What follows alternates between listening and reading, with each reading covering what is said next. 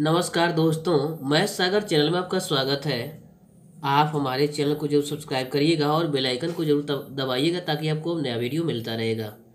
तो देखिए जो है, ये गणित का प्रश्नावली पाँच सी जो पढ़ रहे हैं, आप ये समांतर श्रेणी का जो है, आप पढ़ रहे हैं एन पैटर्न पर आधारित नया सिलेबस इन हिंदी माध्यम इन हिंदी माध्यम जो है, ये प्रश्नावली पाँच सी का जो है, ये पाँच प्रश्न पाँच का सी जो है क्वेश्चन एक से सौ तक के उन सभी पूर्णांक संख्याओं का योगफल ज्ञात कीजिए।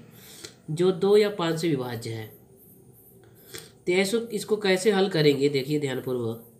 दो और पाँच का लघुत्तम निकालेंगे। तो ये दस होगा। ठीक है? अब क्या करेंगे? जो दो से विभाज्य है, वह दस से विभाज्य होगा।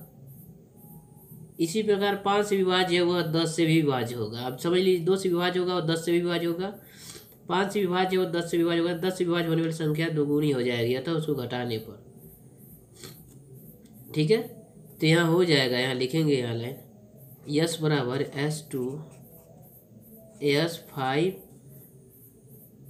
S ten है यस है, ध्यान दीजिएगा ये। यस ये फाइव है, ठीक है? यस टेन यानी कह रहा है कि जो दो से विभाज्य होगा, वो दस से विभाज्य होगा और इसी प्रकार जो संख्या पाँच विभाज्य है, वो द- से विभाज्य दस से विभाज्य होगा, जो इसी प्रकार जो पाँच से विभाज्य है, वो दस से विभाज्य होगा। इसलिए दस से विभाज्य होने वाली संख्या दोगुनी हो जाएगी। इसलिए इसको घटाएँगे। इस कंडीशन में लिखेंगे एन इस टू का मतलब हो गया, दो से विभाज्य होने वाली संख्याओं का योग निकालेंगे। ठीक? अब यस फाइव का मतलब फाइव से भी विभाज्य होने वाले हैं।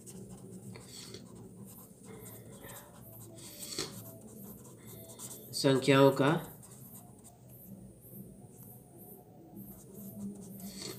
योग। इसी प्रकार यस टेन से सेम वही प्रक्रिया दस से विभाज्य होने वाली। दस से विभाज्य होने वाली संख्याओं का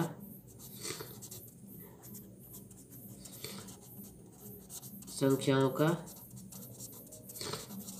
योग ठीक? यानी इसको ऐसा प्रश्न आ जाएगा, देखिए तो आप इसी प्रकार हल करेंगे। कर आप पूर्णांक संख्या का फल जो दो से पाँच है लघुत्तम निकालेंगे, दस आ गया। अब देखिए, दो पाँच है, यानी दोनों का एलसीएम या घटा दिए हैं। देखिए, दो का अलग, एस फाइव का अलग या अलग एलसीएम का दस का अलग। दो से विभाज्य होने वाली संख्या एस टू का मतलब एस फाइव का मतलब पाँच से विभाज्य होने वाली संख्याओं का योग लिखना है। इसमें दो से विभाज्य होने वाली संख्या का योग लिखना है। एस टेन है। यस टेन का मतलब दस से विभाज्य होने वाली संख्याओं का योगफल तो पहले हम निकालते हैं दो से विभाज्य होने वाली संख्याओं का योगफल क्या होगा?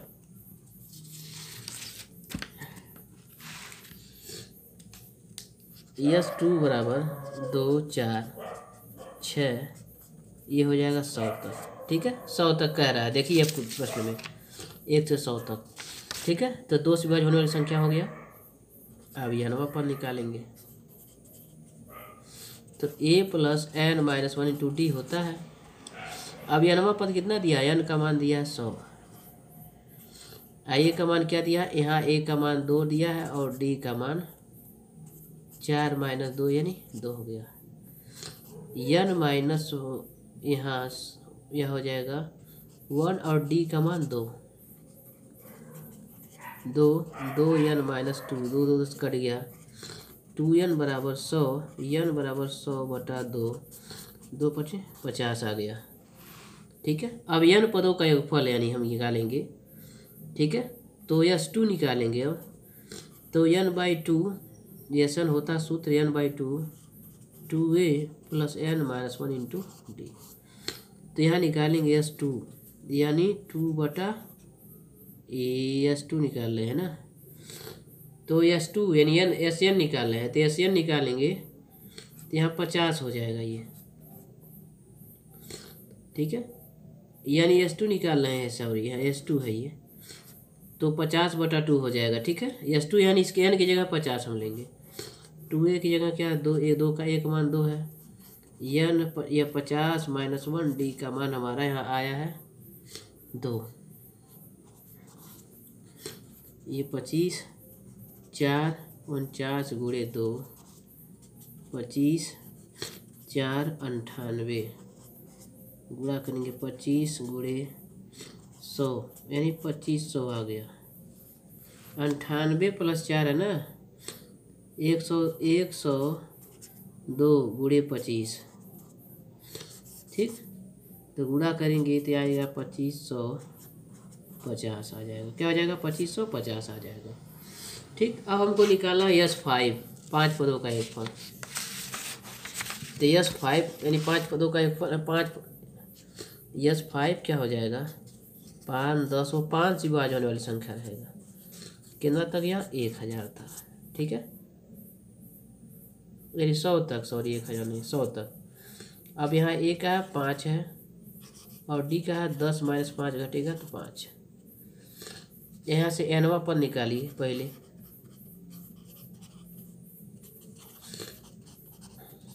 अभी एनवा पद क्या है? सौ है।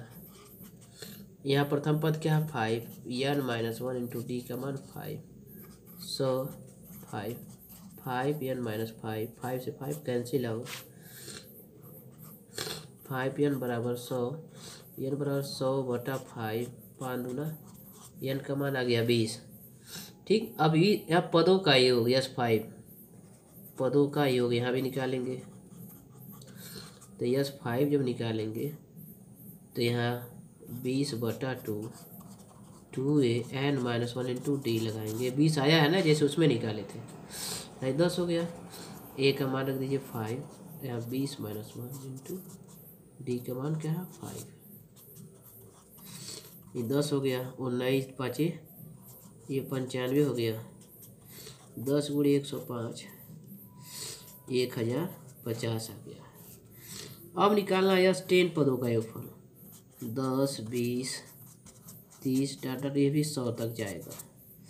यहाँ ए का मान टेन और डी का मान बीस माइनस दस। यहाँ दस निकल गया। जब ये निकल गया तो आपको हम अब हमको निकालना है यनवा पद। तो A plus N minus one into D हो जाएगा। अंतिम पद हमेशा सब में सौ है, यहाँ ए का मान दस है। एन माइनस वन और डी का मान भी क्या है? डी का मान निकालेंगे तो दस आएगा। तो सौ सौ प्लस दस एन माइनस दस दस से दस कैंसिल हो गया। दस एन बराबर सौ सौ बटा दस, ज़ीरो, ये हो गया दस। एन का मान क्या आ गया? यहाँ से आ गया ये दस। अब यस टेन पदों का योगफल। दस पदों का योगफल। यानी हो जाएगा ये। यन का मान आ जाएगा। यहाँ यन का मान हो जाएगा दस बटा दो। ठीक? दस बटा दो। Two A plus N minus one into D. यानी दो दो क्रम दो पचे दस।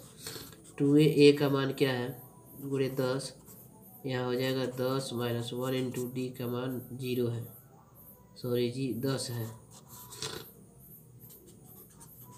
बीस, नौ गुड़े दस। पाँच, बीस, नौ दस में नब्बे। पाँच, नौ ग्यारह एक सौ दस।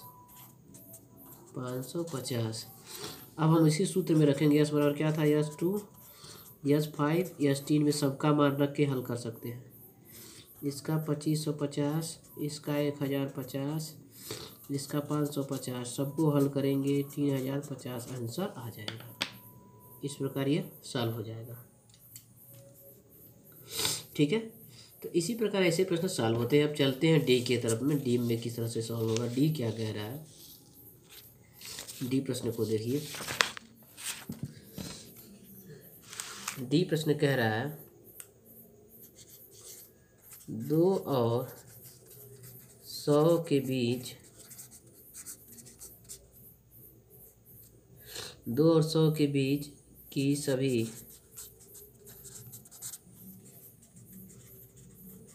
संख्याएँ जो तीन से विभाज्य है। देखिए। तो तीन, धन छः धन नौ, धन बारह, धन पंद्रह, डाट डाट करके है, निन्यानवे। इसमें सम संख्या का फल नहीं चाहिए था, सम विषम विषम संख्या को श्रेणी तीन से विभाज्य होगी क्या हो जाएगा? तीन, नौ, पंद्रह प्लस इक्कीस, डाट डाट जो है, निन्यानवे। इसमें सम संख्या नहीं होना चाहिए, देखिए। इसमें कह रहा है कि सम संख्या नहीं होना चाहिए तो ये तीन लेगा, नौ लेंगे, और क्या होगा? पंद्रह इक्कीस आएगा? अब यह नवा पद यहाँ निकालेंगे। इसको नहीं लेंगे, क्योंकि इसमें सम भी आ रहा है। इसलिए हाई नहीं लेंगे, हाई लेंगे, ठीक है? ये होगा। अब एनवा पद वाला सूत्र लगा दीजिए। एनवा पद क्या है? निन्यानवे है। ए का है यहाँ पर, प्रथम पद क्या है? ए पर तीन है, ए बराबर तीन है। और डी बराबर नौ बरस से तीन जा छः हो जाएगा। निन्यानवे, तीन प्लस छः यानी माइनस छः। अब देखिए निन्यानवे, छः में से तीन जा, छः एन माइनस तीन हो जाएगा। छः एन माइनस तीन बराबर निन्यानवे तो छः एन बराबर निन्यानवे प्लस तीन हो जाएगा। छः एन नौ, तीन बारह, नौ, एक, दस हो जाएगा। एन बराबर एक सौ दो बटा छः यहाँ से दो पाँच दस दो यहाँ छः। एन बराबर तीन कम तीन सात इक्कीस एन का मान कितना आ गया? सत्रह आ गया। अब एन का मान जब सत्रह आ गया तो अब हम क्या करेंगे?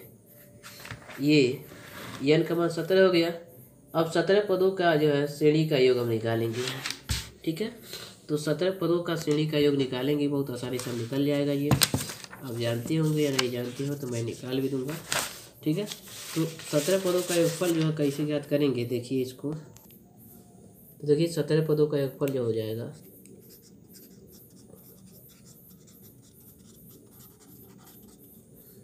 योगफल। सत्रह पदों वाली जो है दस श्रेणी का योगफल क्या हो जाएगा? यहाँ से। यस सत्रह एन बाई टू मतलब two A N minus one into D होता है। तो सत्रह बटा टू टू ए तीन हो जाएगा। यहाँ सत्रह माइनस वन इंटू डी का मान क्या है? छः सत्रह बटा दो, तीन दो छः सत्रह में से सोलह में से छः जा। सत्रह बटा दो छः सौ छः छियानवे। ये हो जाएगा सत्रह बटा दो, छियानवे चार सौ, एक सौ दो दो पच्चीस दस दो यानी सत्रह गुड़े इक्यावन। ये हो जाएगा सत्रह गुड़े इक्यावन। एक सताईस सात, एक, इक्यानवे, एक, पाँच, सात पाँच से पाँच पाँच, तीन, आठ। एक, सत्ताईस, सात, इक्यानवे, एक, पाँच, सात पैंतीस पाँच पाँच पाँच, तीन, आठ। सात छः आठ सौ सड़सठ हो जाएगा ये। यही आंसर आ जाएगा। इस प्रकार यह जो है, साल हो जाएगा। इसी प्रकार जो है, आठ के प्रथम पंद्रह गुणजों का योगफल कह रहा है, बहुत इंपॉर्टेंट ये भी प्रश्न है। वो प्रश्न कह रहा है, छठवां, लिखा है,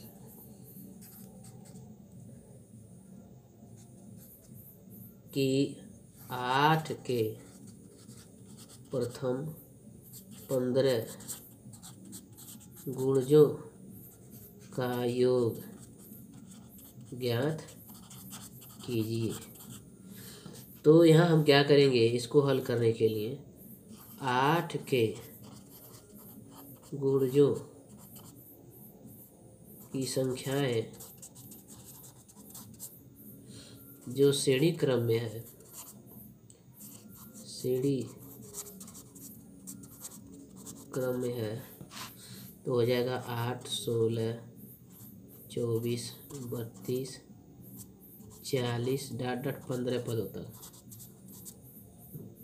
ये पंद्रह करा आठ के प्रथम पंद्रह गुणजों का योगफल पंद्रह, प्रथम। तो यहाँ ए क्या हो जाएगा? आठ। और सर्वांतर क्या हो जाएगा? सोलह माइनस आठ, यानी आठ हो जाएगा। और यन क्या हो जाएगा? पंद्रह। जो ही कह रहा है कि पंद्रह गुणजों का ये अंतिम पद हो जाएगा पंद्रह पदों। तो ठीक है, डाट डाट करके जो है। अब यहाँ से यह इसका जो है यस आठ के प्रथम पंद्रह गुणजों का योग, आठ के प्रथम पंद्रह गुणजों का योग निकालिए। तो पंद्रह बटा two two N minus one into T, इसी सूत्र में रख देना है। तो पंद्रह बटा दो दो ए का मान आठ है। पंद्रह माइनस वन, डी का मान भी क्या? आठ है। पंद्रह बटा दो, आठ दो सोलह, चौदह गुड़े आठ। यह हो जाएगा पंद्रह बटा दो, सोलह। आठ चौक बत्तीस के दो, आठ गुना ग्यारह। आठ चौक बत्तीस के दो, आठ गुना तीन, ग्यारह। एक सौ बारह, सोलह। एक सौ बारह, सोलह। आठ दो। एक सौ अट्ठाईस, पंद्रह बटा दो गुड़े एक सौ अट्ठाईस। दो करोड़ दो छः के बारह दो चौके आठ। ये हो गया। ये नौ सौ साठ हो गया। ठीक है, इस प्रकार ये आंसर होगा। इस प्रकार वीडियो को ज़्यादा से ज़्यादा शेयर करिएगा। नमस्कार दोस्तों, धन्यवाद।